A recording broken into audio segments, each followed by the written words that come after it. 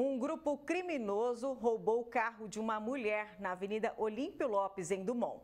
Câmeras de segurança mostram o momento que a dona do veículo é surpreendida pelos ladrões. Eles entram no carro e fogem na sequência.